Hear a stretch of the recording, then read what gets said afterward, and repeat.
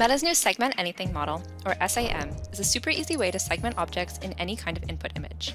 And now it's available in ArcGIS Pro as a pre-trained deep learning model. To get started with deep learning in ArcGIS Pro, you need to first download the deep learning libraries. If you haven't done so already, you can check out my other GeoSnap, link in the description, to help get you started with that. To use the model, the first thing you need to do is download the deep learning package.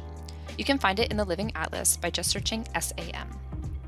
On this page, we can see the description of the model and how to use it. This model specifically uses the Detect Objects Using Deep Learning tool, which requires the Image Analyst extension. This page also shows what the input of the model needs to be, in this case 8-bit 3-band imagery. This is important because if our input is different, then we'll get an error when using the tool. At the top of the page, just click to download the package. Then once it downloads, I'm going to open ArcGIS Pro. Now, in ArcGIS Pro, I'm going to open the Detect Objects Using Deep Learning Geoprocessing tool, which is in the Image Analyst toolbox.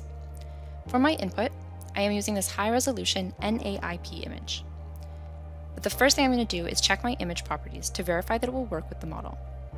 Here, I can see that the image has three bands and has an 8-bit pixel depth, which is what the model requires, so I shouldn't run into any errors there.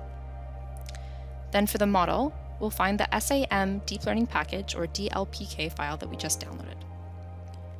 Once it's loaded, all we need to do is hit run. This might take a while depending on your computer.